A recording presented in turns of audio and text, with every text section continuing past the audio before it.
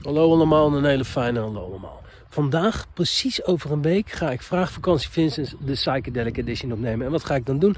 Ik ga dan tering hardtrippend uh, eh, proberen in enigszins normal fashion eh, jullie vragen onder te kwijlen.